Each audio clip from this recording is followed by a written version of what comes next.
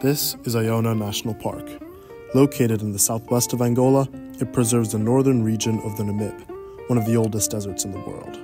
NASA Develop partnered with African Parks nonprofit to help implement scientifically based management strategies in this unique region. Which the preservation of cultural and natural heritage, educating the future generation, and allow the public in general to truly enjoy and appreciate the park. To visit this, uh, the landscape of the Iona National Park, seaside, coastal side, dunes, to the high mountains. Iona has long sought to protect the unique flora and fauna of the region. Unfortunately, turbulent periods in the country's history negatively impacted its biodiversity.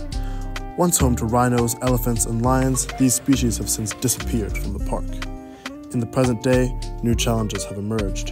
An ongoing drought plagues the land, livestock now outnumbers wildlife individuals 7 to 1, and climate change threatens the delicate balance of this desert ecosystem. These factors exacerbate human wildlife competition, pushing endemic species further into suboptimal habitats.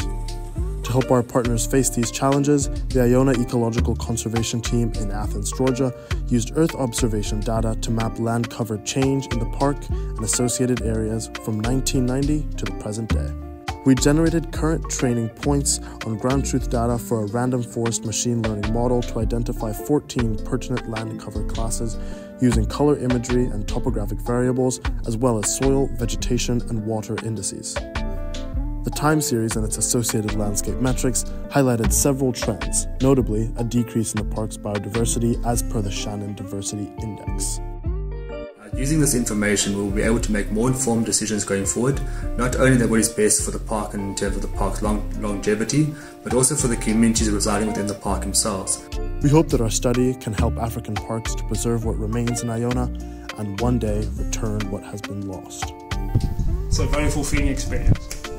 Thank you. Thank you. Thank you.